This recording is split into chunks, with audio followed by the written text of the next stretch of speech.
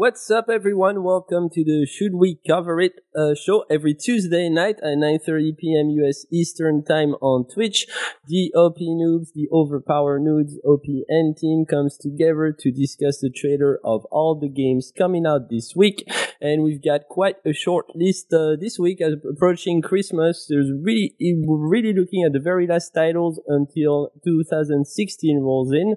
It might not be the most interesting show. It's also going to be a short one, but thanks thankfully, I'm accompanied by the cream of the crop right here at OP Noobs. I am naming Chris Kellogg, Rendark, aka Peter O'Brien, Dan Wheeler, AJ Mallardy, Lethargy, Caitlin, Alucard, and of course, the one and only, the guy you'll never see, Stylomax.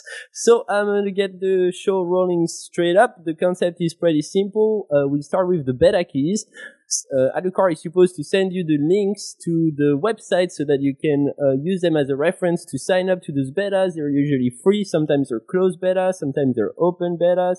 But at the but at the end of the day, we try and connect you to all the games that are coming out for testing on a weekly basis. So please come back every Tuesday night at 9:30 p.m. U.S. Eastern Time. And this time we started that's relatively on time. At the end of the show, I'll also make a quick announcement about the new show that's coming with OP News that we're very excited about. Uh, but before we get there, you could actually find out just by going on our website, opnoobs.com. We're gonna get this show started. The Should We Cover It show. Does everybody have their little digit on the mouse to press the click button and get the trailer started? Press 1 if you think we should review it. Press 2 if you think we should toss it. I believe that's the code, if I'm not wrong. Let's get started. The first game is called, is a beta, it's called Amigdala. Amigdala, everybody press play. Peter, right over at you. Psychological horror set in the snowy mountains of the north. Discover the hidden secrets behind the experiments related to ancient myths and an unknown past. A project created thanks to the Unreal Engine 4 for Windows platform, totally in support of Oculus Rift. Caitlin? Nova VR is located in Rome, Italy, and I lost the page. so that is all I can tell you for right now. I know. Caitlin, you're such a cursor. Um, it's hey, an, Caitlin. Yeah, yeah, for Caitlin, it's an Italian game, which I'm all for because it's a relatively, I, I, I, believe it's a relatively thin industry, and the Italians, I would argue, if you look at their cinema, would have a lot to say in storytelling, at the very least in video games. This uh, does look like uh, the the typical, uh, at least from the the trailer we're watching right now, the typical type of uh, indie game that we've seen lately, including uh, we did a great review on this game called Stairs, uh, which is what reminds me of, written by Marcus Hess, uh, who's not here today. But uh, any comments, questions? Um, are you guys excited about it? Do you see Do you see potential, Chris? Uh, Chris, uh, your microphone is muted. You're gonna have to unmute it. I no. apologize. I'm so used to using push to talk with TeamSpeak these days. Um, I noted that it had Oculus Rift support at the beginning, and um, this is one of the nicer looking games I've seen for Oculus in a while, uh, and I can see it being really, really scary. It might be uh, kind of similar to a lot of horror games we played before, but it's always way scarier when it's an Oculus Rift, no matter what you're doing. Um, and also, uh, it, it, said it was based on the Philadelphia experiment, which maybe just look that up real quick, which sounds like a pretty crazy thing, um, which is supposedly like an actual U.S. government experiment that may or may not have been a hoax. So that sounds kind of interesting. So uh, yeah, for those two reasons, I got to support this kid and uh, we can't hear you either. Okay, I'm sorry about that. Sorry about that, Caitlin. I have been waiting for a good horror game for weeks. I mean, I'm hoping that it will be interesting enough for me to play it, but I like horror games a lot, and so I'm very hopeful. And I think you're not the only one. I mean, I think horror just kind of generally pleases the gamer as a genre. It's always something that, that gets us going, just like in the movies, I'd say. Uh, AJ Mallardy, what, what you've got on this? Um, uh, I mean, as you know, Chris has an Oculus, and I've had the chance to play some games on the Oculus, and honestly, it looks good, but I'd be very curious to see how it would play on that. Um, I mean, as the game itself, it looks pretty solid. The graphics look good. Um, my only quirk with uh, horror games, though, is are the uh, scares cliche. So, I mean, from what I can see, it looks pretty good, but I think if it's really smooth and fluid with the Oculus, that would really set it um, above and beyond. So, I mean, I would definitely check it out for sure. I would be anxious to review it or take a look at it for sure. We're gonna be uh, juggling only a couple trailers tonight. By the way, we have. Can you hear me now? I heard you before. Now Nothing. I now I do. Yeah. Okay. Okay. I don't know. Something messed up with my Skype. I think I think it's Skype's doing it too. I could hear you, Yeah, not because, at all. And uh, suddenly you came back. So sorry. Normally, I should be fine. Well, the good news is we only got a couple trailers to cover tonight. By the way, we'll be giving games away, two main games. Uh, Alucard will make the announcement later on, and I will be sending the, the keys. Uh, we're gonna do a little voting system. If you want to check out the games we're giving away, they're displayed on the front page of opnoobs.com. But the good thing is we only have a couple trailers to go about tonight. So I'm gonna pass on the microphone to most of you, pretty much on every trailer. So be sure to, to be ready and get a couple comments. And on that count, I'm gonna call you out, Ethergy, aka Rain, aka April. I'm not sure what to call you anymore. Uh, hey, are you into horror games at, at all, April? I am. I like a lot of horror games. This looks like a throw, almost like they redid Area 51, if you remember the old arcade game. Oh yeah. Oh, that's a I can't game. tell you how many quarters I threw in there. But um, I'm really kind of interested in it just because that's all I could think of when I watch it. Yeah, it's, uh, it's, it's, it's a legit comparison. Uh, then, It it looks interesting. I'm not a huge uh, horror genre buff. I mean, I like the games, but I've also never tried the Oculus Rift. So I think with the Oculus Rift, that would really kind of make the experience for me. So I'm pretty interested in seeing how it pans out, and if I ever get into that, checking it out. So yeah, it looks solid to me. Looks cool. alright. Uh, then I guess uh, it's it's definitely signed up to the beta. Uh, Alucard should have sent the link. Yes, Alucard sent the link. Alucard, you are improving.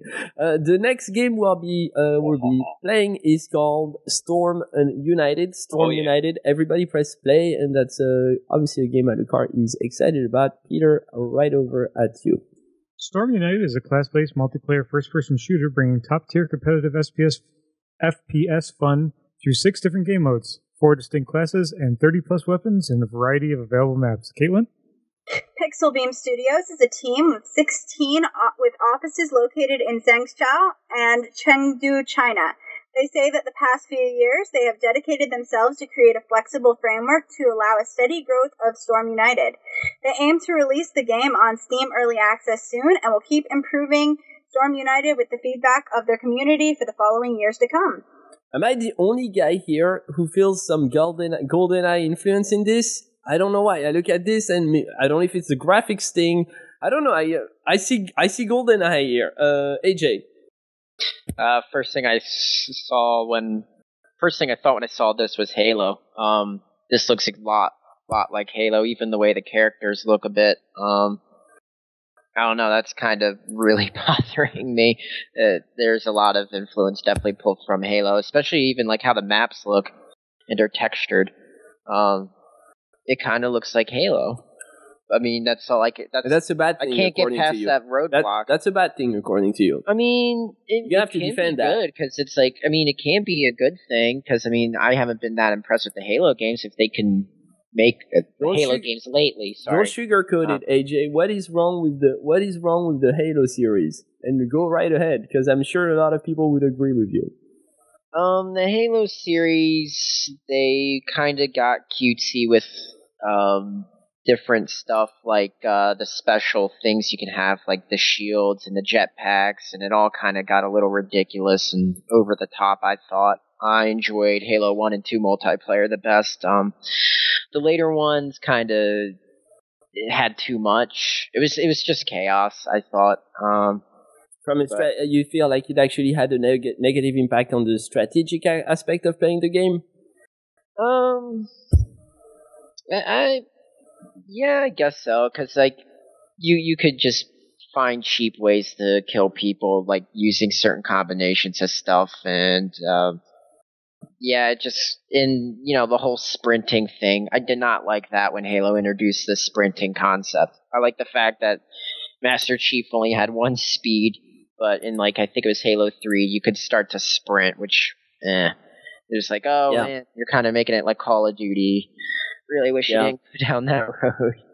Um, but yeah, so like back to this game, it looks a lot like the later Halos, which um, eh, I mean, it could be good if it's got a couple of tinks or things that are tinkered with, but first glance, that's just that mental roadblock I had that screamed Halo at me.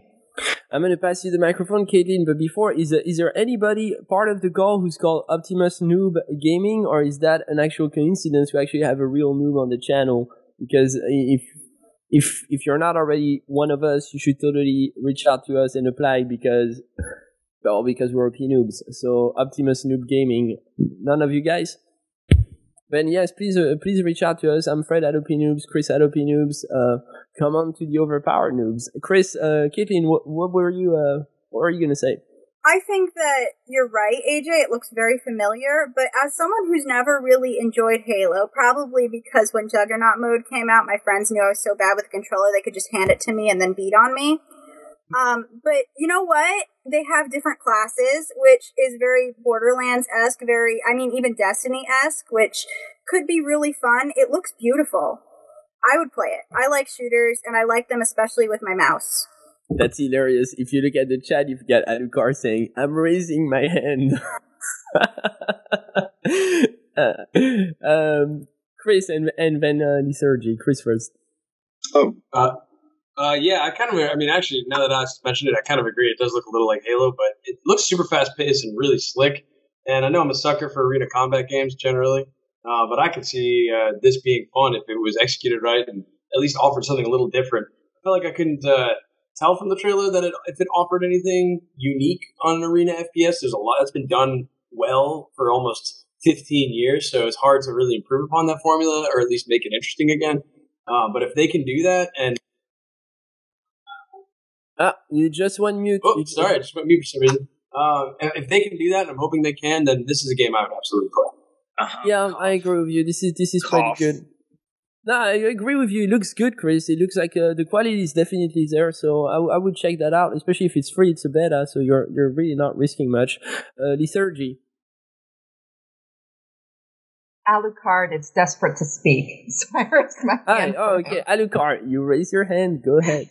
Oh, I get a turn? Holy crap, people noticed me. All right. Um well, first off, I streamed the crap out of this back in April when it first started up. I remember. Um and a lot more since then. Um yes, that whole um Halo comment, I'll just say don't judge a book by its cover and leave it at that. Uh from that point, um I mean it's fun. I know you were saying uh it's you know as long as it has a little tweaks or whatnot, it has those. Wait, do you guys still hear me? Because I'm thinking. yeah, Yep. yeah, yeah, you're All fine. right, We- cool, we can hear you just cool. fine. Um, but it's it is fun. It re- it does remind me in a sense of Halo, but not Halo the game itself. It's just how fun Halo was at that time. So I'm definitely gonna buy the our us uh the four pack once this holiday sale because we're right around the corner for a Steam sale, and I'm gonna get the four pack and I'm gonna make Fred over here play with me. Don't worry, Fred, you'll be on my team. You'll be you'll be taken care of. Put me on the other team so I can kill both. um, but yeah, man, I play with these guys all the time. They're really cool dudes. Um, they're really immersed in their community. They they always really listen to the community, so they really take uh, everyone's advice into consideration and they implement it. So I find that really cool. And I'm done boasting about the game. Yeah, and there's just no chance I'm ever gonna play an FPS with you again. But uh, moving on. it was that one time. It's just not gonna happen, man. Uh, Dan Wheeler. I was just going to jump on Alucard's note there. I thought it was really cool. Towards the end of the trailer, there's actually an interface within the client of the game itself to submit feedback um, in the form of things you like, things you don't like, things you want tweaked, balances you want to make, and that's something cool. Um, a lot of developers like this will go to forums, things like that, but having something so accessible, I think they're going to get a lot of good feedback from it. So that was a great decision on their part. How big of a studio? Uh, Kitty, I know, I know you gave us some description, but what are we looking at here? It's a team of 16. Oh, that's small. That's hats off for that. Hats off for producing something like that with a team On of team, 16. but good stuff, man. hey, should we should we think about this for your uh, E for Yeah, I think Definitely. that's totally that's, Definitely. that's absolutely Yeah. for yeah. Chris, servers in a few places, and I when like people actually get think. on, big big games, awesome games, Nice, nice. very competitive. All right, uh, let's move on to the next game. The next game is, and after the beta, we'll be giving the first game away. So stick around. And the first game that we're giving away is Book of the. Wait, let me get let me get that correct. The Book of Unwritten Tales number two, which is a point and click game, supposedly pretty good uh, graphically. I can send you the link later on. We'll be giving it away by asking you guys to pick a number from one to hundred, and whatever number you're closest to from the one in my head, you will be the lucky lucky winner. Moving forward, the next game is Legends of Callasia. Everybody press play for Legends of Callasia. Rolling, uh, Peter, right over at you. Legends of Callasia, or however you want to say it, is a simultaneous turn based single and multiplayer fantasy world conquest strategy game. That's a lot of adjectives.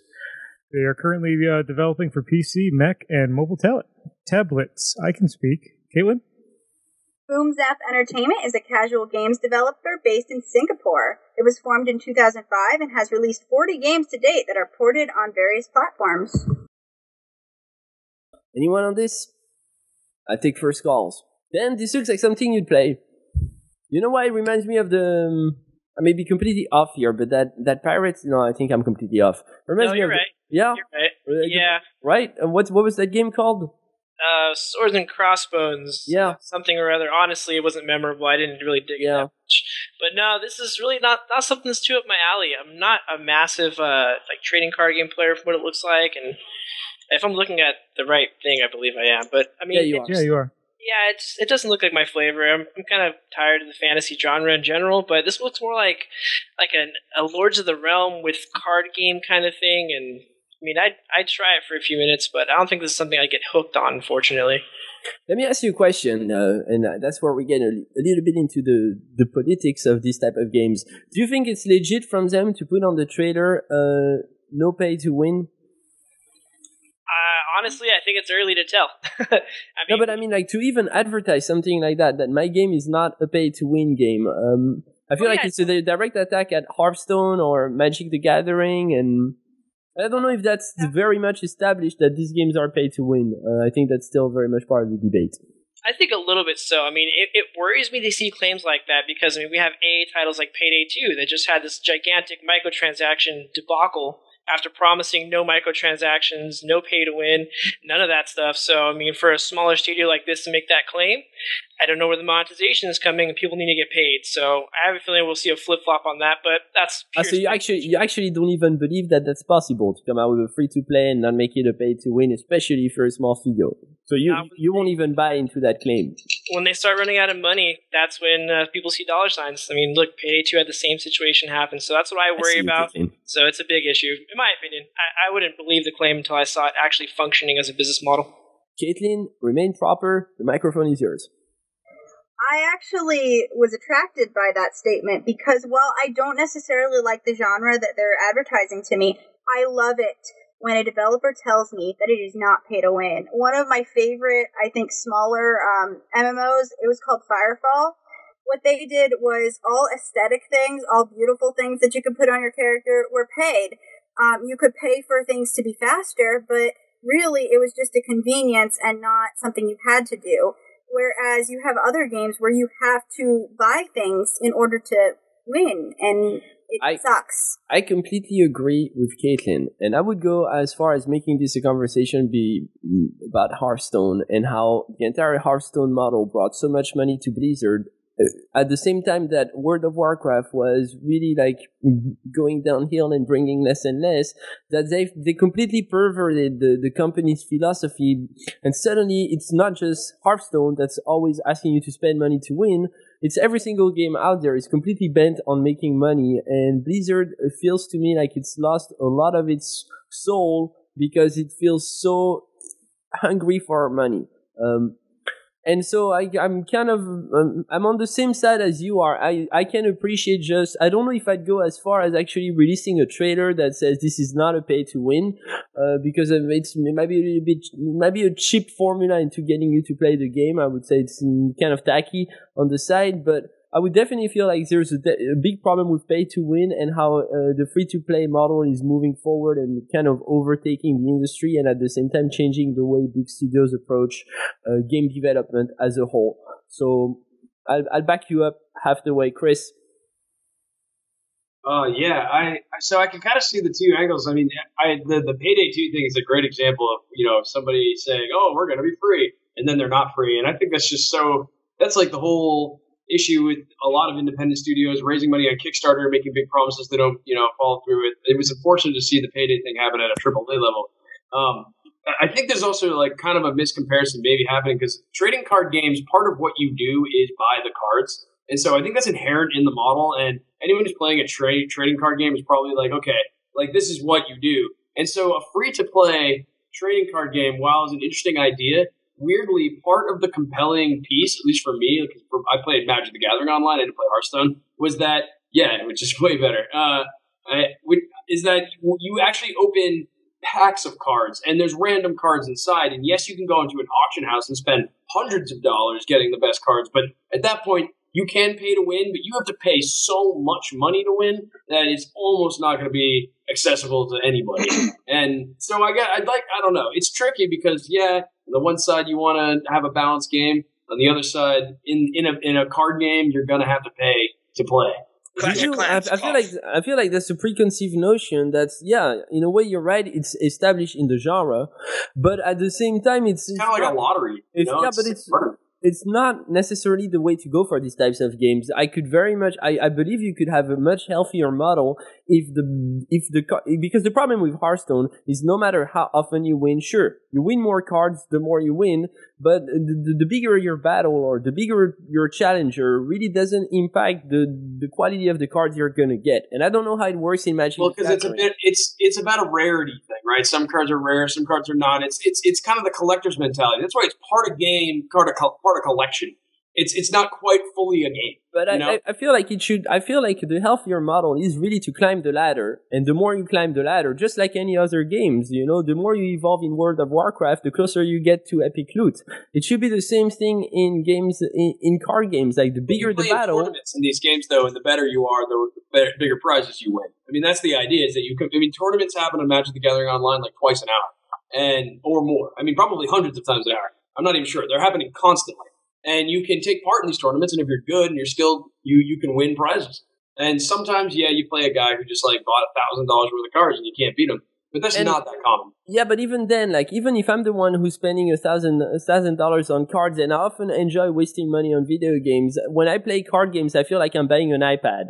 Uh, I, I, I, really do. I feel like I feel like, like I'm buying an iPad. Like, okay, these these cards are gonna kick butts for at least six months. And then yeah. in six months, they're not going to be worth anything on the market, right. and everybody's going to look at me and say, "You still have those cards?" And I, so it's kind of that's like the iPad, honestly. Like you spend, you drop seven hundred bucks on any Apple products, and seven months later, you're completely outdated, out of fashion, and you might as well go back to eating meat. Um, no, you're. I'm not going to lie. just like having part part of it is is like having a bit of an addiction to opening booster packs. Like that is absolutely part of it. Like like I remember being five years old, or not five years, like ten years old, opening booster packs, and there's like some kind of gleeful ridiculousness about wasting money on paper that might be worth more money than the other paper you wasted money on that makes you want to do it more. And uh, I can't really explain it. It's not exactly a logical process. So I'll sort of sit that. the, the other big question I have on card games, and I'm fascinated about that because Blizzard and I hate to make it all about Blizzard, but I mean, they're kind of the company right now that really owns the card games market. Uh, you might argue, no, it's Magic, but Magic now is really like kind of a niche of hardcore gamers, uh, especially the games online. Yeah, Chris, and we all played them when we were kids, but today the guys who play Magic on on computers, they're not, you know, your mainstream well, you know audience. Have, so wait, hold on. My point is, though, I, counterpoint when you're done. but yeah, my question is, can can Blizzard and and Hearthstone really hope to keep um, to keep the game mainstream because you're con- continuously re- releasing those packs. And I feel like the more packs you release in this game or any game, it's, I, I'm not making it a Blizzard thing. I just feel like it's kind of the, the curse of this genre is you're going to keep releasing packs to make your game interactive and to keep make, making money. And at the end of the day, you're going to lose most of the mainstream audience because at some point we're all going to get overwhelmed and only, only a few, you know, hardcore card gamers are going to keep keep at it. So I, I really don't see even Hearthstone, who's a huge success, uh, keeping with the momentum and just the huge success it's been. Hats off on them for getting that. But I, I feel like at the same time, there's that it doesn't have the lifespan that World of Warcraft had, and I don't think any card games do. Uh, Caitlin, and Chris. In answer to your question about, I, I suppose Blizzard, but in card games in general, Hearthstone actually has, from what I've seen, I haven't played it, a decent model. My boyfriend has never put a dime into it, and he's actually gotten to a very high rank. He just plays with what he has, and the better you get, again, the better packs you can open, and you can what do you, you can uh, cannibalize your cards and turn them into different cards. Uh, it's very interesting, and I personally, my game that I play every night is Heroes of the Storm. You don't have to put a dime into that unless you want special pretty things. Yeah, I'm all for cosmetics only. Chris, Um, yeah, well, I mean, I uh, I think that's uh, makes me more interested in, in Hearthstone and uh, Heroes of the Storm to hear that kind of thing. Um, part of what I think makes Magic great is that it's one of the few games that feels like a video game, but you can play it with cards, and so you don't actually have to look at a screen. And there are all these little shops near my, uh, not like near my apartment, but probably within ten miles of my house. I can go to three different places, and any given night I can be in a Magic tournament for fifteen dollars.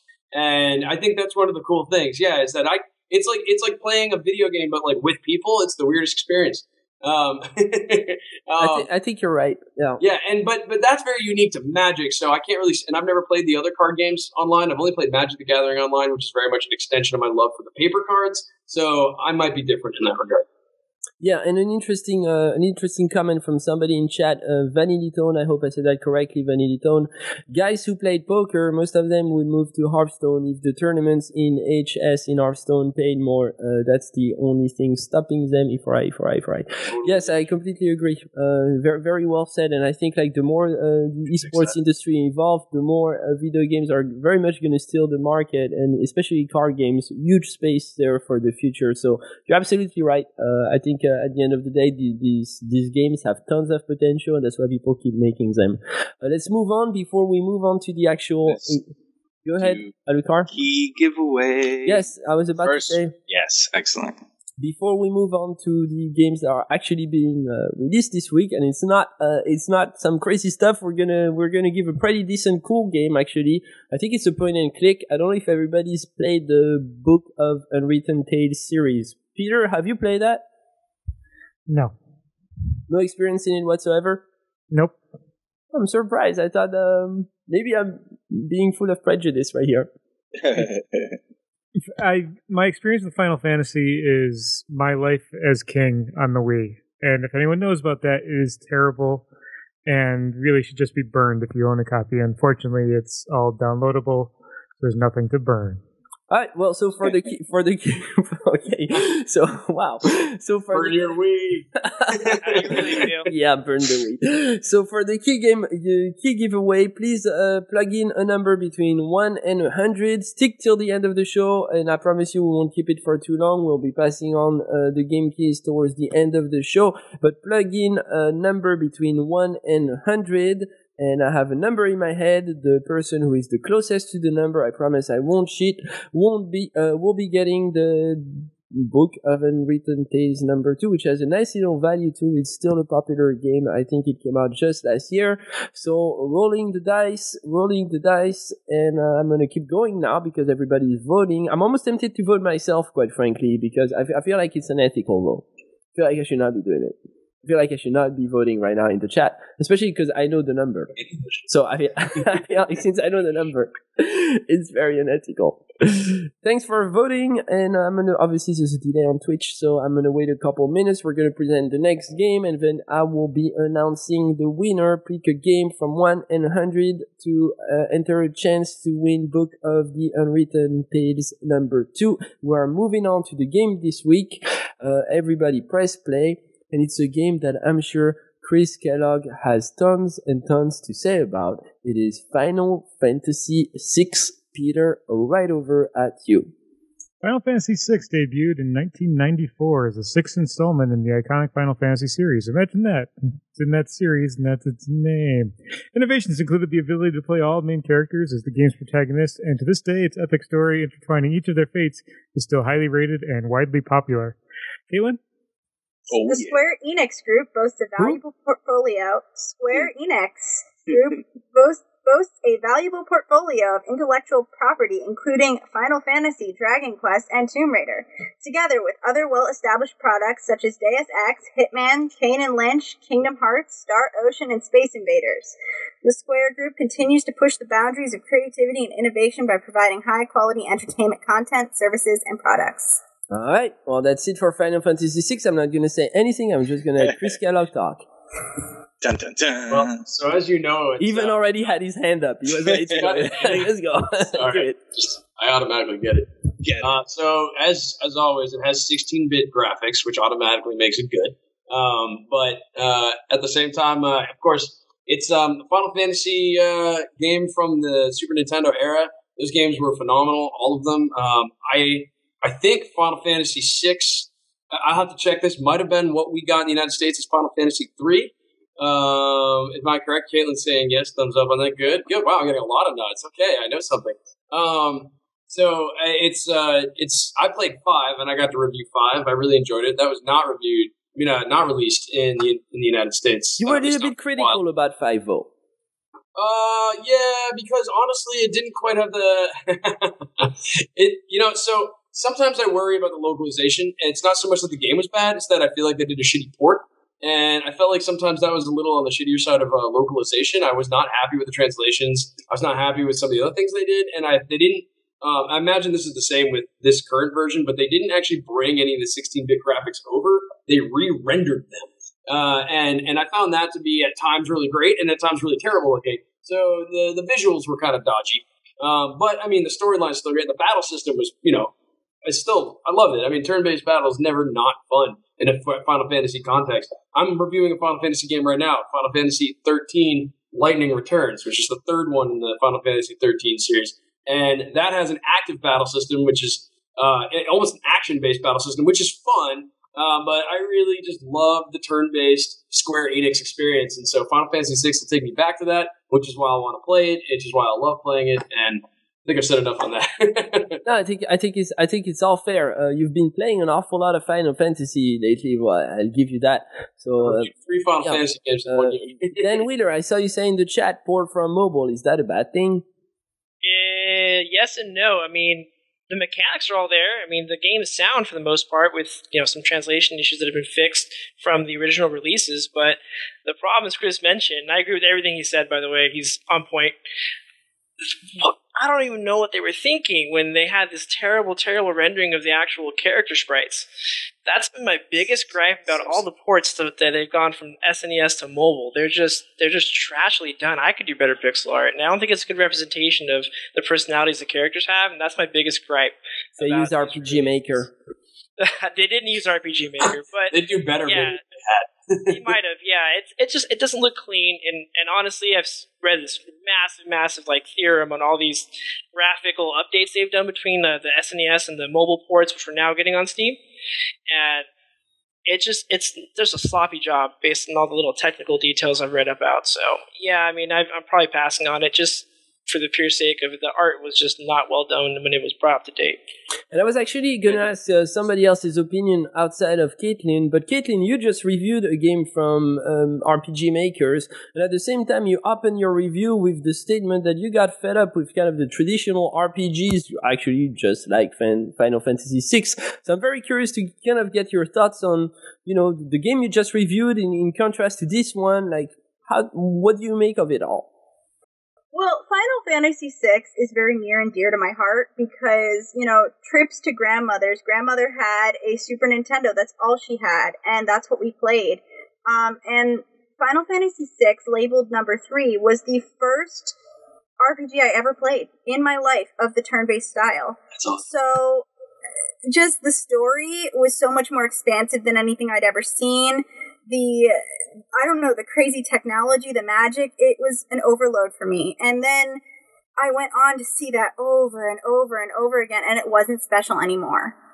Um, the one that I played before, it was an RPG Maker game, but it's interesting how the short version that the developer did for contest was actually much better um, in some ways than the one that she actually published for sale. Um, and you never really know. You don't know with RPG Maker. And maybe actually this could have, like Dan Wheeler said, have been ported much better through RPG Maker. And uh, yeah, I think I think you I think I think you've said that well actually. Uh, Peter, you who um host the podcast called Return of the Retro. If that's not uh, Return of the Retro, I don't I don't know what is. Um, what's your thought on just Square Enix popping him out like? Uh, I mean, they're going at it. I have no problem with them trying to earn money on their old uh, stuff. If people are willing to pay for it, let them pump it out. And you Is that fan, it? you a fan of these games? No, Final Fantasy doesn't do anything for me. I Why do not? like the original Dragon Quest that they make. JRPGs in general, I just don't like. I mean, Steven likes Final Fantasy IX, so no, nobody's perfect. He's not even here to defend himself. I know that's the best thing about it. You can't defend nine. It's okay. You can't defend nine. I used to be Let all sad the that I hate didn't out, go Fred. Let PlayStation it all growing out. up. Now I'm glad because I don't have to be a part of these arguments. It is funny though that uh, just I think just a couple weeks ago we introduced RPG Maker, the new one, and suddenly we're just on a roll. And not obviously not Final Fantasy VI, but as I'm putting together those trailers to prepare for the show, there's a ton of RPGs coming out right now that look like they're straight out of RPG Maker. So it's it's kind of funny to see, and I don't know if I don't know how I feel about that that whole movement. I don't know if I should s- support it or or bash it. I'm still very much undecided. Don't hate the Final Fantasy. Final Fantasy doesn't hate you. No, I don't hate the Final Fantasy. I It's say RPG Final Maker. Fantasy is definitely. Uh, actually, you know, Chris, my problem with Final Fantasy is very much the problem I have with Nintendo. It's uh, it's the inability to innovate and and just keep the trend moving forward, uh, and just constantly relying on rehashing the same stuff over and over again and catering to the very same small audience. And actually, Nintendo kind of came, kept its audience because it's kids. Uh, Square Enix, I would argue, lost its audience uh, to to to. Well, I mean, and, and I know people have their hands up, but I'm just going to say one thing quick. I, I think that uh, they took they, they will admit themselves that they took a totally different direction, a different direction with Final Fantasy VII than they had done anything previous to that, and they've said it themselves. Then they took a new direction with 10, and they were they supposedly took another direction with with uh, 13. Uh, I'd say there was a lot of difference between seven and 10, uh, but there's a lot less difference between 10 and 13, without question. Yeah. Um, so yeah, to that token, I kind of agree. It's it will always be the most beautiful over explanate like over expletive game ever. Though. Dan, Uh, I was gonna say that. Um, I mean, to me, like Square Enix, I've I've been following them since they were two separate companies way back in the day when they actually both made golden games, in my opinion. But I feel like once they they, did. I don't they- disagree with that. I agree with you. They, they did. yeah. So since they came together, I feel like the company itself is like it's trying to go in too many directions. You're right; they don't necessarily fully innovate, but they do like little steps of innovation with each game. But they're all going in different directions. So, I mean, if each got their games together, got their their eggs in one basket per se, I really think they could actually push innovation and create something new, something that we're all going to enjoy, rather than this schism group we have within Final Fantasy lovers. So, yeah, that's that's my piece. Yeah. So even a possible Yeah. legacy to live up to, though. You know, Oh yeah, they absolutely. Really do. Yeah. Hey, Stupid Baka, thanks for joining us. Uh, here I got a stupid Twitch name, but makes sense for me, makes perfect sense. Stupid. No, it doesn't make any sense, Stupid Baka. Uh, thanks for joining us, please, every Tuesday night, 9.30 p.m. on Twitch. Uh, game giveaways as well. Come back. please come back. I'm kidding. And shameless plug. Begging here. Hey, Jay, uh, I think I saw your hand ra- get raised really quickly, but not sure. Oh no, I didn't have my hand raised. Okay, alright, then let's move on to the next game. And the next game coming out this week is called Goblins and Grottos. Uh, grottos, I believe, because there's two T's, so it should be pronounced with the Italian accent. Uh, Goblin and Grottos. Genre. Genre. Genre. Genre. Jean. Yeah, you got it. Yeah. Genre. Genre. Okay, okay, let's continue. Alright, alright, sorry, Peter. A comic puzzle platformer with RPG elements, like every other game that comes out nowadays, and a powerful map and story editor with online sharing facilities. Play as a goblin trying to escape from a team of greedy adventurers, including a single player campaign where you seek to avenge the death of your family killed by a level 100 paladin. Caitlin? Yeah. Sam Redfern, Sam Redfern is an indie game developer and university academic making games since the 1980s. He's from Galway, Ireland. Uh, I'm not gonna pass any judgment on this. Uh, actually, I'm gonna ask Peter first to comment on this. It looked like it was a lot of fun. Um, I know you probably hate the graphics because you don't appreciate old school graphics. Because I'm shadow like that. Well, you are shallow like that. You think Nintendo's not innovating, but I would argue that they invented motion controls in the mainstream, and then they uh, adapted tablet gaming to the console. I agree. But that's me. All bad things. Moving forward.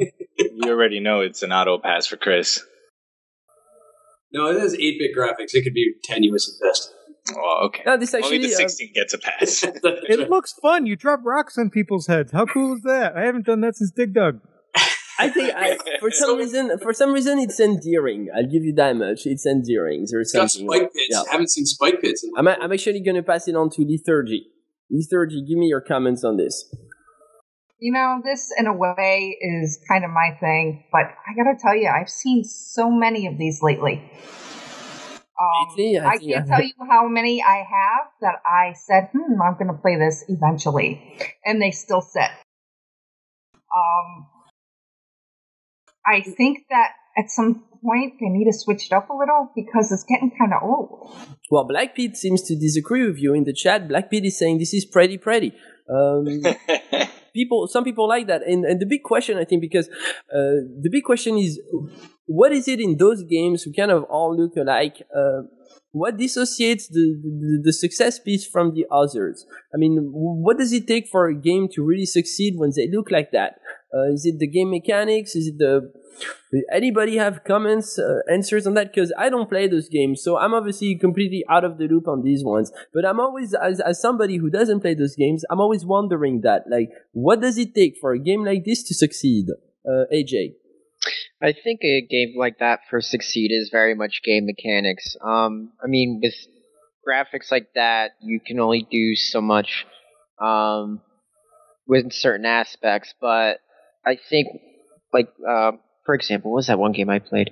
Explosionade. Explosionade I reviewed earlier in the year, and that was a really Yeah. fun game because um, of the ways you could kill people, and you had to get really creative sometimes with how you had to kill people. So I think if you take Aliens. the route more of a it, for these kinds of styles of games, instead of looking at it as an action game, I think if you look at it as a problem solving game, I think they're a lot more fun because if there's a certain way you have to kill enemies or you have to position a certain thing here or there, I think that kind of separates the um, the the the good ones from the bad ones because uh, those are the parts that get frustrating, but those are the parts that keep you coming back for more. Like when you mess up, but you think you know what you did wrong, and you can come back and try to correct that. I mean, that's at least me anyway. But for 8-bit side scrollers or whatever, I think those are what separates the good ones from the bad ones. Yeah, and Black Pete actually says because it is easy to work with, which is, uh, I think it's an interesting comment, the just the easiness to it all.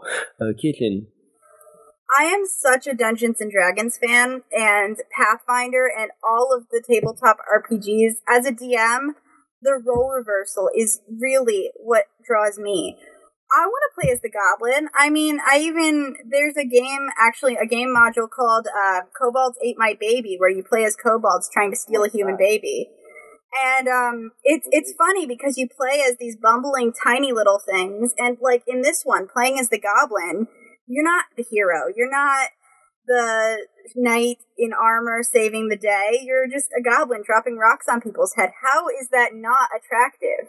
You got to think about it from the angle of the story of the role reversal. Even the name, goblins and grottos, that is such a play on D and D. Yeah, I, I'm- I okay. I, that, I think that's acceptable. Uh, by the way, I forgot to say you're supposed to. We're supposed to vote, guys. Type one if you think we should review this game. Type two if you think we should toss it out and move on. Peter. Um, if Caitlin likes the role reversal, she would love the book NPC, which is about uh, four people that work in a tavern, and uh, they deal with people who come in who uh, are murder hobos. Nice. That sounds That lovely. awesome. Well, thank you for that, Peter. Uh, Quite we're ge- inspirational. I, I guess we're gonna move on to the to the next games. There's actually a lot of 8-bit AAA tonight. I feel like it's the end of the year, so there's final releases we're getting. The next game that we're uh, covering tonight is called Sinless. Sinless. Everybody plays play, and Peter, right over at you. So Sinless has a quote here. Before we knew it, what we once knew as freedom became nothing more but a faint and distant memory. Hmm. Venture forth and discover the truth behind the seemingly perfect Omnicare Society and Sinless, a unique point and click and visual novel hybrid set in an original cyberpunk reality. Caitlin? From Poland designer Michael Newgarthen, programmer Grzegorz Zhukzuk, and lead programmer Paul Come on, get it right.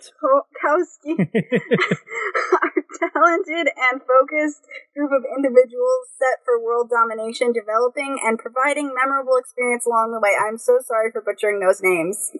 Chris, okay, you, they want to dominate the world. They're done. that's, that's okay. Chris, you think that, you think this is this this is point and click? Yeah, I, I thought that's what it said in the description. Was I misunderstanding? No, Uh. I, I don't listen. Uh, maybe not. Surprising, yeah, it says a unique point and click and visual novel hybrid. So I was just confused because uh, I saw some avatars punching each other, and I was like, "Well, that doesn't seem like a point and click game unless you're clicking on an enemy to fight it, and then you've got Diablo." So I don't know. Um, I, I, uh, I, I, I guess it looks okay. I wouldn't. I hate point. Uh, yeah, this is this is the game that Stylomax got mad at me for because it says Fred, this is for Google Play, and so it's not Yeah, technically it looks- PC. Which I kind of disagree. I mean, it's Google Play. You can play it on PC, correct? If it's Google Play. No, well, technically, Android. Okay. Well, okay. All right, we messed up. Then I think there's way, way, way too much bloom and artificial lens flare. My eyes hurt from watching that trailer. It's Still, J.J. there's- Abrams point and I would I would still argue. It's, I mean, It's it looks pretty, but I'm just Yeah. it's really bright. That really hurt. I feel I That's feel just my opinion, anyway. I feel like sometimes artists are developing games when they should just do artwork. Agreed. Right? Like we start to see a lot more of that. I think every year you see artists get into game development when really their strength is in uh, artwork because they shouldn't really touch too much. But it's too soon to say. Maybe it's a good game. Uh, The art reminds me of Remember Me. I don't know if you guys played that game. A little bit, yeah, but it, Yeah. even remember me didn't hurt that bad. I'm a fan. Oh, the glare was definitely low. I love, you know, maybe I'm just a sucker for shiny objects, but I uh, I love the the sort of glow and the shimmer. I think that that adds a little dynamic kind of flair to what is otherwise just a a picture book. I agree with you. Uh, by the way, I completely agreed to announce. Uh, I completely forgot to announce the winner of Book of the Unwritten, Unwritten Tales, and I am happy to uh, let you all know that Optimus, and I, I swear I'm not cheating here, Optimus Noob Gaming got the Book of Unwritten Tales too, and I'm glad he did because he's contributing uh, quite a lot in the chat with some intelligent comments. So Optimus Noob Gaming, congratulations! You got the first key. Stick around because the the second game we're giving away is Company of Heroes 2. That will be towards the end of the show. We will release the keys at the end of the show when I get the time to get into the account and whisper you the keys. Uh, handing out Company of Heroes 2, including its DLC. So stick around, guys. The show will last probably another 20 to 30 minutes if we uh, don't get too uh, chatty. We're moving on into the next game, and the next game is quite a sight. I'm, uh, I'm really hoping for some uh, fruitful comments on this, and it is called Simple Planes. SimplePlanes, right over at you, Peter. Everybody press play. Build airplanes by snapping parts together, designing wing sections, and attaching engines. At any time, you can strap yourself into the cockpit and see how it flies with re- realistic physics. If you're not in the mood for building, over said. 100 over 100,000 airplanes are available to download for free. Caitlin? All right, this is developed by Jundroo, an LLC based in Glen Carbon, Illinois. You said the yes. Sorry. Uh, wow. Uh, yeah, Chris. So this is totally like Kerbal Space Program, but with planes, from what I can tell. I don't know if anyone, if any of you guys got to play Kerbal Space Program. so it's Um, space engineers with planes. Ye- Yeah, yes, precisely. um, which isn't necessarily a bad thing. I mean, I'm seeing like jet powered, like you know, vertical takeoff and landing planes doing barrel rolls. I mean, I would love to do this. Um, one thing that uh, kind of annoyed me about Kerbal Space Program is you, I felt like you, while you had control over your spaceship, you couldn't like do a lot with it. Like you really couldn't like have you couldn't take it for a fun ride. And it looks like maybe with this one, you might be able to actually simulate flying quite a bit with your uh, creation. So yeah, I would like this game. I think it'd be fun. It kind of reminds me of Legos, but with planes. Anyone else? I was Yeah. playing the next trailer though. Hey, raise your hand, Alucard. Just Oh, raise I'm your hand. oh, I'm Come on, man. Like, play the. I'm, I'm, I'm gonna make my profile picture just to Yeah. You got a gun to us now. All right, go ahead, Alucard, and then third G. Oh no no you can you can go first the third G. Oh, gee, yeah, I'm the one in the middle, right? Yeah. Oh. That's what she said. I can't tell you how many Kerbals I've killed. It's probably, you know, I Get in. maybe Your microphone. Find a game I suck at. But um, at the same time, this does look like a lot of fun. Um, with Kerbal, you went up in the air. Did you leave orbit? That was it. This is more Your of a. microphone, Caitlin. This one looks a lot more fun. It's like Oh. an adult version. So you like this? Yeah, I would totally play this. Yeah. Oh, you guys are like this is a popular thing. One thing Wait, that's It's all because of Kerbal, just like uh, April said, or Luther just said. Um, it's it Kerbal made this into like a genre kind of a genre, the the Genre. building of contraptions and then testing them 3D. Who knows why it's fun, but it is. c'est bien. Oh man. AJ, Um, no, I kind of agree with what everyone was saying. Um, these games are frustrating in the best kind of way. Um, and I I usually prefer shooters, but this is one of the few genres of games where I actually do enjoy myself. Besides shooters, um, just because it's frustrating. One little thing you can do differently, and it could mean the difference of crashing 20 feet after takeoff or uh, having a successful flight. And uh, I, I've seen people play Kerbal Space Program, and it looks very similar to like that. But um, as Chris was saying earlier, that um, it looks like you have the ability to at least take your planes for a little bit of a ride, whereas uh, in Space Program, once you got into space, that was it. Like you were done. So I think this game might be a little more rewarding than that. So I mean, this looks fun. Yeah, and I would definitely like uh, to have someone with a little bit of experience in, in this type of game review review it on our website, and we'll if if somebody does, we'll keep you up to date because this is definitely a peculiar beast and one to focus on. So if we if we actually get a reviewer to write about it, we'll remind me to make a note, uh, self note, mental note, and send it uh, send you guys the link on the next show, which is every Tuesday night at nine thirty p.m. Eastern time. We move on to the very next game, unless anybody has something else to say on that. I've been I've been playing the the next trailer like over and over again because of the song. Okay, then uh, no, I, I I think it's fair. Excited as well. The next game, and I hope I pronounced that correctly. The next game is called Taimumari. Taimu Mari. Uh, Peter, right over at you. An etro style platform game, because that's what our notes say, not retro. In keeping with the best traditions of games of our childhood, take control of Himari, a young female wizard traveling across various ages to settle the balance in time across the whole world. Now, if this was really in balance with our childhood, we wouldn't know she was a woman until the end of the game, a la Metroid. Anyway, Caitlin? All right. It's developed by Ternox, which appears to be an American company, but I wasn't able to find a lot of information, so I'm not sure. Can you tell me what? stakes. Can you guys tell? Can you guys tell me what that was, Chris? AJ? Were you not listening to the music? I mean, are you not listening? It's yeah, awesome. I was So- improving. Yeah, so so uh, chip tunes, man, is like a great thing. I love chip tunes, and uh, and this is like classic chip tunes. They are killing it right now with this soundtrack. And uh, honestly, I am the kind of person that would totally play a game just to listen to its music. And this just looks like it's fun enough to to suspend my uh, like you know just to keep my hands busy while all I really want to do is listen to the soundtrack. So I'm gonna I would play this without question. Yeah, it's it's a very it's it's. I don't know. It's interesting. Um, looks. Uh, yeah. I, I don't. Please keep in mind other games we have reviewed. Did you forget about uh what was it? Uh fish fetuses coming out of the the, the alien there? Oh yeah, Oh, you Oh, weren't yeah. there for that. like I three heard weeks that. weren't we? Can you shed some light on that, Alucard? Because I'm totally I don't lost remember here. what what bizarre godforsaken game that was, but it was not fun. It was some like what was it? JRPG was it? It was. It was one of the. It was another anime. Game. Kawase, I believe. It, it that that part was dark, man. All right, then I guess uh, Taimumari gets uh, gets a thumbs up. Uh, Yeah, please this vote looks fun. Please vote in the channel if you haven't done so already. Type 1 if you think we should review it. Type 2 if you think we should toss it.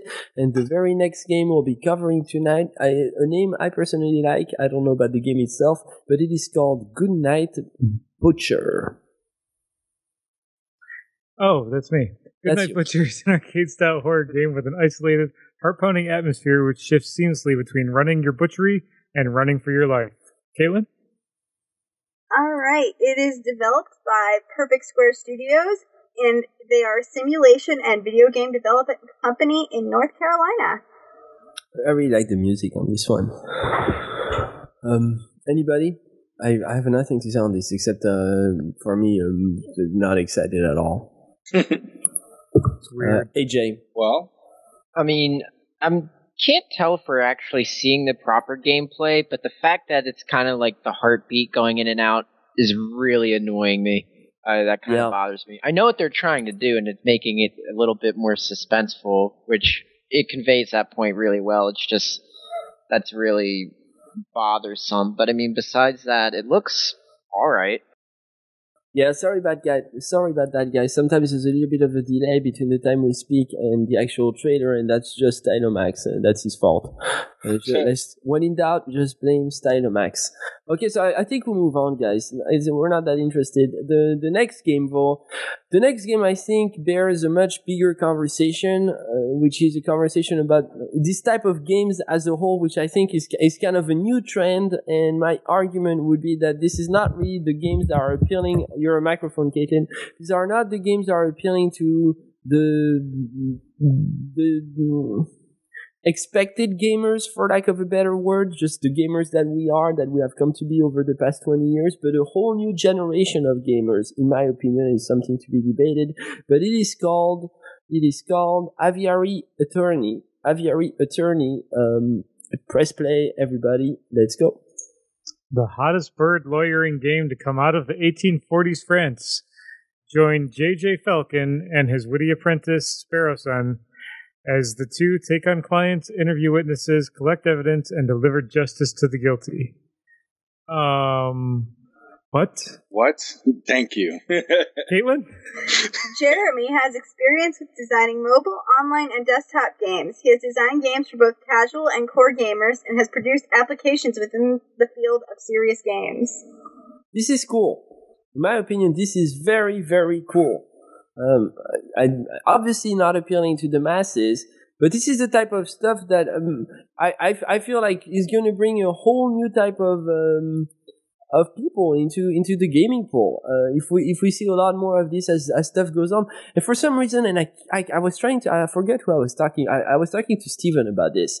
Uh, it's the, it's the type of stuff that we're starting to see more and more, and I can't really pinpoint. Um, the type of people in mainstream, not mainstream, but ju- just society as a whole who get into this stuff. I don't know if it's storytellers or just avid book readers or I don't know the, the artistic people too, the people who go and see um, exhibits. Uh, but it's bringing something to the gaming scene that we kind of haven't seen, and I kind of want to encourage this type of initiative. I'm going to start with Peter.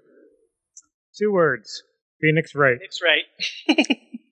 This is, we've seen this before. It's been all over 3DS and DS. It's it's just done with a new style. It actually is really very pretty, very well drawn, but it's Phoenix Wright for the PC. Okay, um, and so what does it mean? Phoenix Wright was an attorney game that you collected evidence, uh, you sat in trials, and you tried to figure out, um, usually through terrible deductive reasoning, uh, who was actually guilty and who was telling the truth. Okay, uh, but you think the the actual um, mechanics of the game, just the style of the game, is really what's at heart here? Because I feel like it's really like something for the artsy people. Chris, I think actually it's funny. Like I think you were kind of hinting at it before. You're like, is it like the people that go to exhibits? Are they the kind of people? You know, those people. Uh, I'm sorry, that sounds stupid. No, no, no. But actually, I'm making fun of you. But I know I get what you're actually saying. It is kind of intended to be for the kind of person who would generally not play any kind of action-based game. I mean, they wouldn't even be able to handle the speed of civilization. You know what I mean? It would just be Yeah, too fast for them. yeah. You know, and they're Exactly. too complicated. And but they're still smart and they still want to be engaged. Oh, yeah, yeah, I'm not. Passing judgment on on the country. I think it's great. I, I, I Yeah, gen- yeah, and, and what everyone said was right too. I mean, there is kind of this weird uh, lawyer genre that seems to be appearing uh, that existed with Phoenix Wright, and I know there's one or two other games that have hinted at it. And I do know that with television, like a, a, a law based television show is a, is a genre all in itself. And I guess what we're kind of seeing is this weird, like lawyer outgrowth in gaming too. That is kind of the allegory that I at least see in television. Uh, and there's probably one exists in, liter- in literature as well and in movies, but particularly I can see that comparison. People people like the law, and we live in these very litigious societies, so it's natural that we would make video games about litigation, even if that sounds like an oxymoron. Yeah, I, I think we should get the developers. If nobody reviews this, I think we should totally get the developers on a Twitch call and kind of get his perspective because I have no doubt he will get on just to speak about. do a tournament. Yeah, we, I think we should. I think we, yeah. if all right, then I'm we gonna read all of the laws. Uh, well, this game takes place in Paris, so I'll have to catch up on my French law. But Ah, that's okay. I've got you covered. all right, excellent. I'll need you to translate all of French law. Tout à fait. There's a lot more of those people than you might think, Fred. I'm serious. Um, I mean, Phoenix Wright was huge. I mean, that was like it was a genre buster for sure. It just brought something new to the DS to, to most mobile gaming. I've literally played through the entire all of them, like Really? and then binged them. They're fantastic games. Um, the logic, yeah, it's not so sound a lot of times, but once you get into the gameplay where you're taking these clues together, you're weaving these stories, you're trying to find um, false logic that's been presented in witness testimony. I mean, it's really interesting, and to see this adapted in a different manner, I'm totally on board. Uh, I got the same kind of feel from it that I did at Phoenix Wright, and that's a really good thing in my opinion. And I hope you get that. I know I'm very critical, and sometimes I bash stuff without really being like without having I was anything to. But I, feel- I, feel- I'm I'm really backing this up. Like for me, this is this is good for the industry. Uh, Lethargy.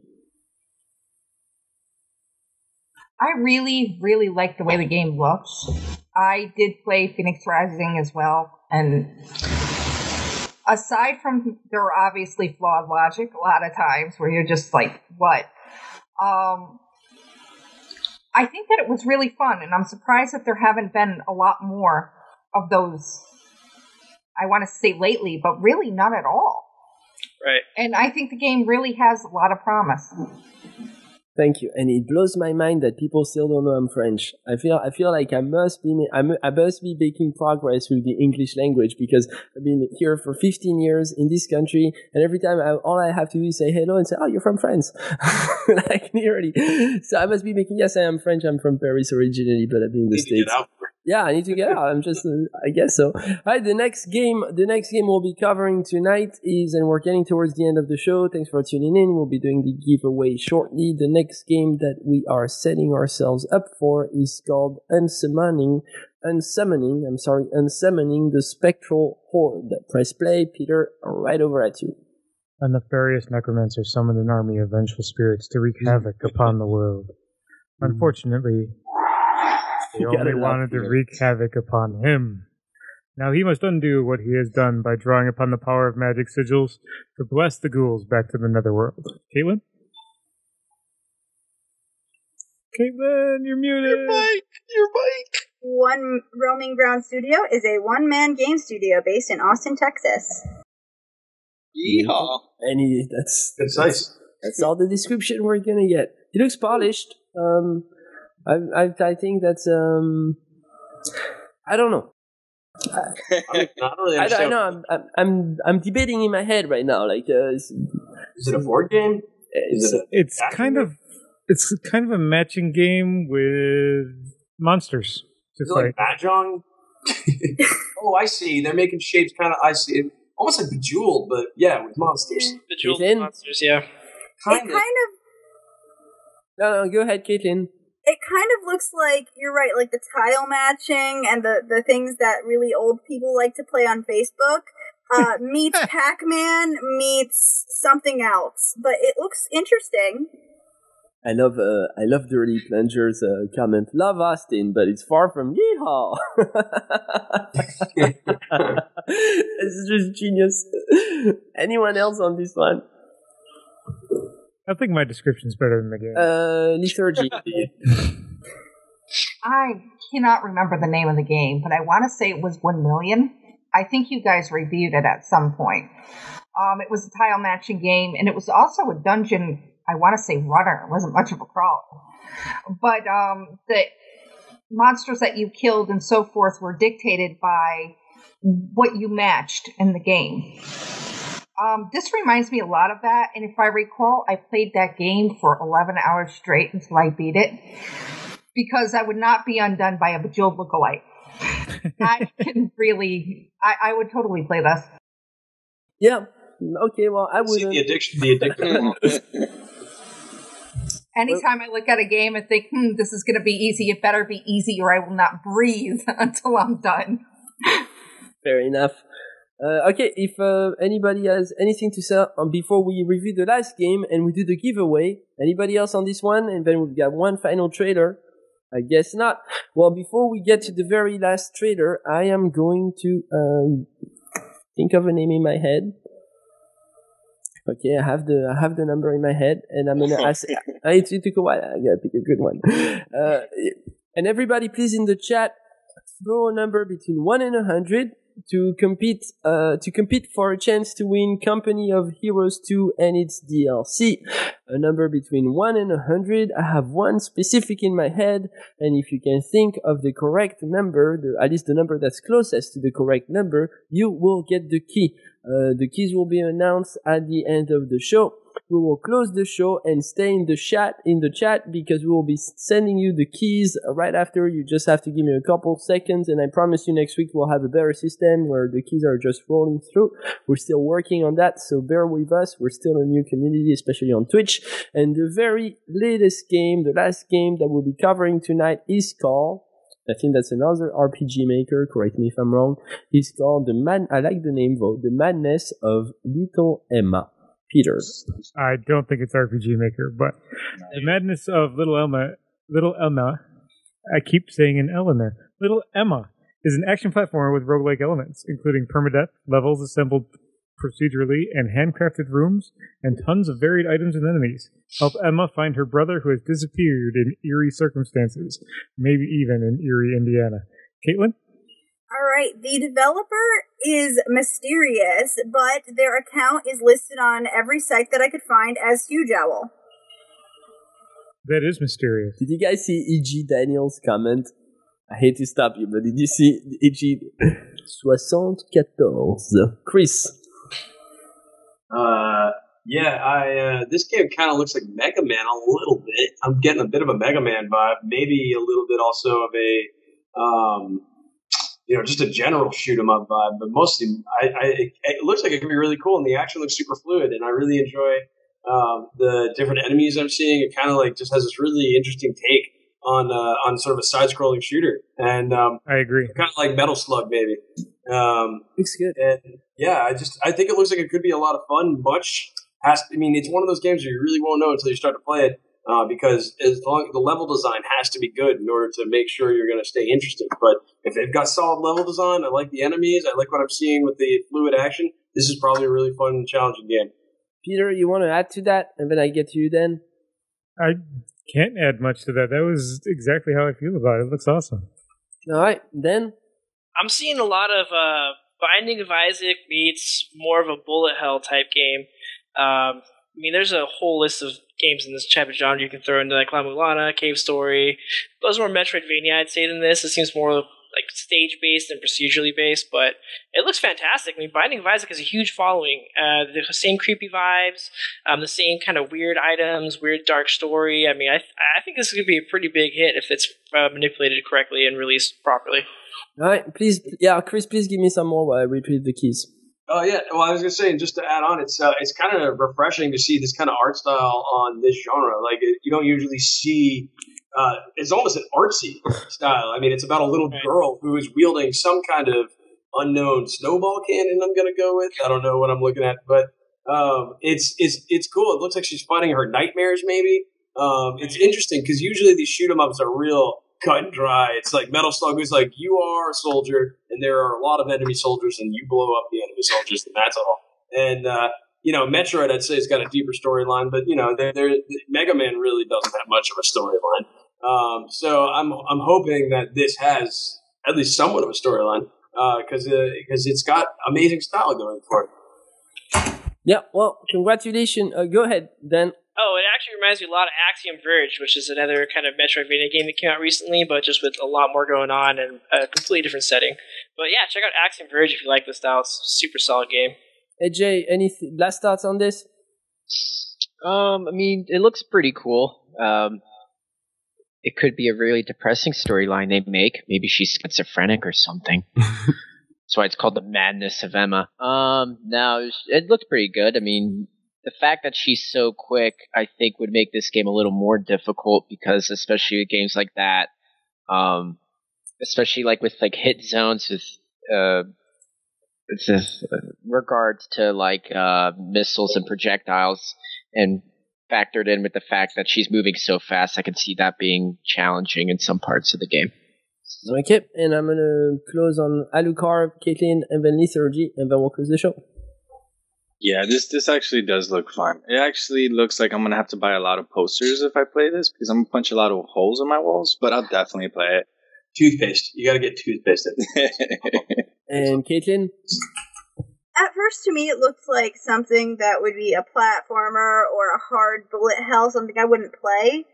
But the art, the the weird eyeballs and the creepy little stuff floating everywhere, it's cool. It's pretty cool.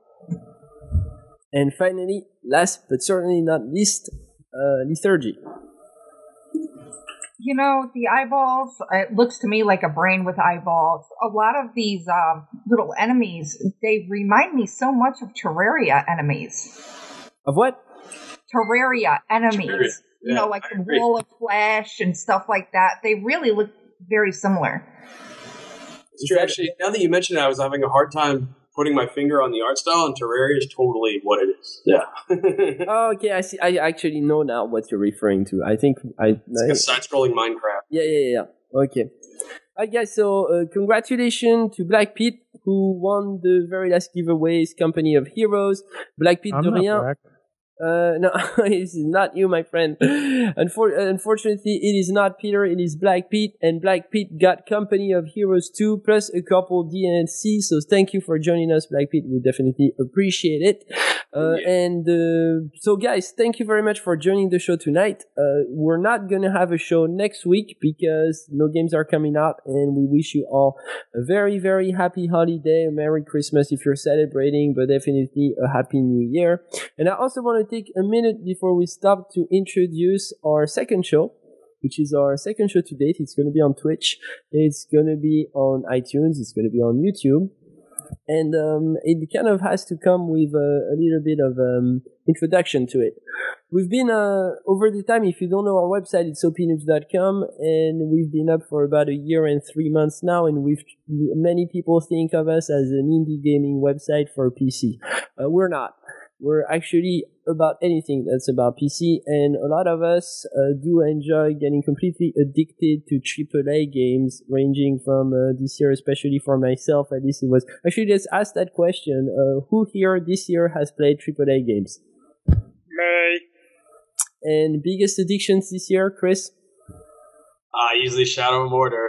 Game came out in 2014, and I'm still playing it. And because I'm, am convinced I can get to 100%, and I will. It's still a game that I really want to check out, and I have it. We have it, uh, Steam Libraries. And if you want to join us, we're opnoobs.com. Simply send an email to Chris at opnoobs or Fred at opnoobs.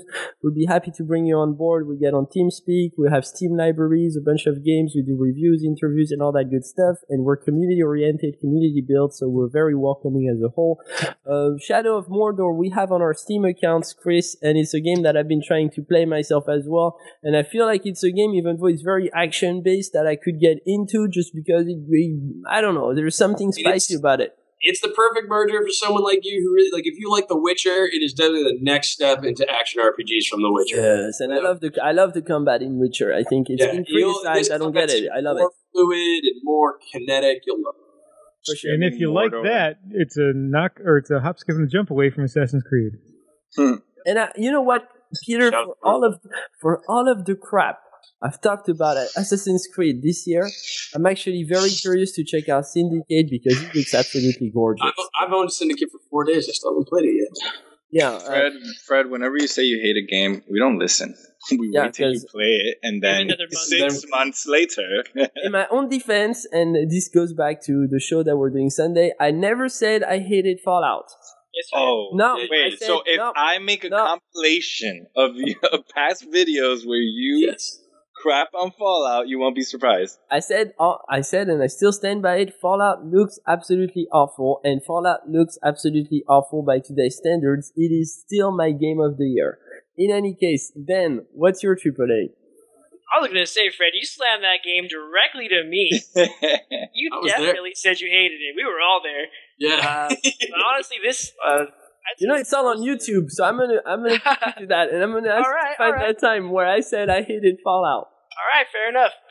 Um, honestly, a game I spent the most time on, I'd say, probably Realm Reborn, Final Fantasy XIV. Um, I, Okay. I think I played that beta one, two, three before it was re-released, after it was re-released for about a year and a half. I just got out of the addiction a couple. Were you a ago. WoW fan? Have you played World of Warcraft at all? I played it. If you name an MMO in the market, I played it. Don't do it. Oh, wow, are you serious? Motor City I played Online. a lot. Yeah, yeah. What's your take on the genre as a whole nowadays? Genre. And uh, it, it desperately needs innovation. It, it, de- it ever since WoW came out, we have carbon copy clones left, right, up, down, no matter where you look.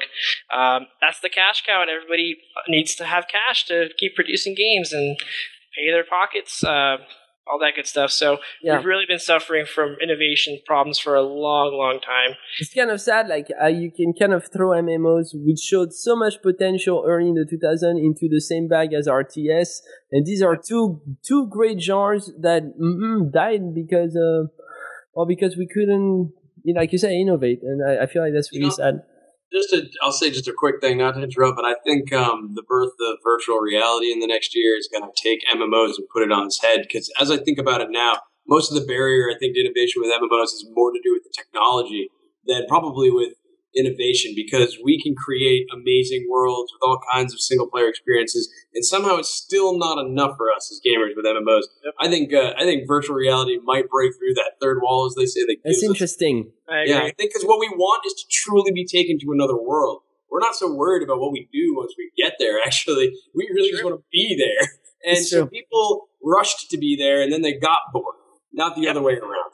Absolutely. So yeah, so I think it's a technological barrier more than anything else. And uh, I don't know. We'll see. Next year might be the, the year when that innovation comes, That's and very, maybe yeah, the Cubs will win the World Series too.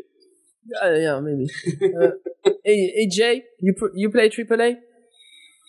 Um, I haven't had so much time to have addictions this year, but I've been playing a lot of Rocket League lately, so I can't stop playing it. But that's not really AAA. It's Is in the not? Middle. It's, in the not middle. AAA. That's that's a, that's It was a at very the MLGs. It's it's It- not yeah, but that's I think it- it's not fair to call it AAA because because then if we call it AAA, we're basically we we're basically taking away all support to the indie scene because we're basically saying that the moment the indie studio succeeds, it becomes AAA. Well, they, but that's not their first game, um, and this is their first game to truly break through. I think their next game will make or break them as a AAA developer. If they can, because they've reached a level of fame that is so large, it might as well be considered It's mainstream. true. It's true. And and if they can replicate that, they're absolutely AAA. And if they Uh, it's sign a a good deal point. with Warner Brothers, then consider it AAA without question. And Peter, triple A. Not modern ones. I don't have any new equipment. Well, Retro AAA. yeah, he plays on Xbox, Ah. guys. I have to. You try Hey. playing on a processor that was made in 2008. Hmm. Alucard, Triple A of the year. Hmm. Okay. So first off, AJ, the first step is admitting you have a problem. You're on the right path. next, next, Fred. Uh, before the show even started, all I, I got on TeamSpeak, and the first thing I hear is, "Wait, wait, wait, wait! I just need 20 more minutes." Why? Because he's playing Fallout. Anyway, I was there. I love it. It's a fantastic. Um, this past year, I got in the beginning. I got on late on GTA Five. Had a blast with that storyline wise. Uh, Arkham Knight was awesome storyline wise because I played it through. Um, Metal Gear, I am freaking over a hundred goddamn hours, and I'm not even fifty percent. Is it repetitive? Because I've seen a lot of comments on the on the web about this game being overly repetitive. I am a notorious kidnapper in that game. That's what I consider myself because I just run around and I steal people. I feel a little dirty at times. um, yeah. Other than, but uh, those were the biggest ones, and obviously The Witcher when it came out. Another, you know, one that uh, he who shall remain Superb. nameless, Fred, hated. Um, but yeah, I mean, Superb. other than those, I haven't played. Yeah. Other than that, it's just a lot of alphas, early access stuff. And then Caitlin. I uh, I actually haven't bought a lot of AAA games this year. Um, I don't know if the free to play Blizzard games even count, but I've Yeah, really been playing. I've been, like I said, Heroes of the Storm. I just bought a new hero today, um, and I really like them. I would count Tomb Raider as AAA and this Oh, yeah. year, except it doesn't come out for PC until next year, and I will be buying it because Lara Croft has been my hero since I was five.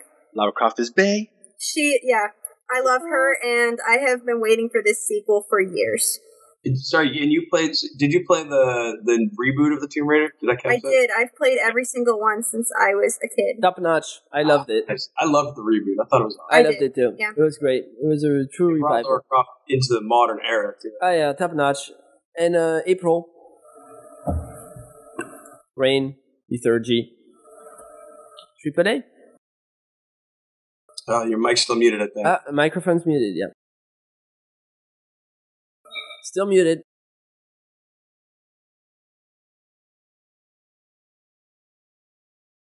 We have all night. We really do. Can you hear me now? Yes. Yay! Woohoo. Um, well, now that you slammed it, I'm going to say I don't. No, no, no. Go ahead. Don't listen to him. We're not judging. Lies. He poops on Nintendo. How, bad, how good could he be? Xbox as well, and I have a PlayStation 4. And I Uh, have. Stylo, a- can you please boot her? If there's a game system, I have it back from the original Atari. Um, I have an Atari sitting next to me. And um, I think that, well, I prefer some other more than others. That, I mean, it really doesn't matter what you play on. You're going to find a game on everything that you like or that you have at my house. Um, PlayStation 4, uh, I'm addicted to Grand Theft Auto. I know that Grand Theft Auto is on PC as well. Yep. Um, Elder Scrolls, I prefer it on PC. I'll level you up. But as far as AAA games, my gosh, if you knew what I spent on games every year, um, I'd have to say Elder Scrolls was my favorite. Can't hear you, Fred. You're actually going all time favorite. Yeah. Okay, I'm getting a lot of shuffle. It might be you, Caitlin. I'm not sure, but the, all of this, all of this to basically say My that we're coming up with, yeah, all of this to say that we're coming up with our brand new game, uh, with our brand new show. I'm sorry, and that is called AAA Anonymous. I sent the link in the chat, and it's every Sunday night at 9:30 p.m. US Eastern Time. And yes, yes, it is hosted by the great, the fantastic, the cynical, the, the, the, the obnoxious Steven Stanisiewski. And AAA Anonymous is a podcast that is seasonal. We'll be focusing on one specific game at a time for a specific season until the next addiction comes in and gets us away from that game and next into the next one. So we feel like it's a really good balance between this Tuesday night show, which is all about the news, all about the hot stuff that's coming out, and Uh, actually talking more in depth about a specific game, a game that most of us are probably playing. I suggest you check it out. And we might end up developing a few of these little puppies. It's called AAA Anonymous. And the first one is this Sunday night at 9.30 p.m. US Eastern Time. Please come check it out and support it. There's a very long story to say we'll be on the air Sunday night. We'll do giveaways, which are just giveaways for AAA no indie games being given away during AAA Anonymous. It's all big mainstream stuff. Come check it out on twitch.tv slash opnoobsonline. Then to be found just like this show on our YouTube channel and our iTunes. This is opnoobs.com, PC Gaming by PC Gamers. Thanks everybody for tuning in and we wish you all a very fine evening. You guys have a great night. Oh, We'll be posting this show on iTunes for the very first time in our life. Jazz Hands. So come check us on iTunes. You'll find the link on the website. Jazz Hands. Thanks, guys. We love you.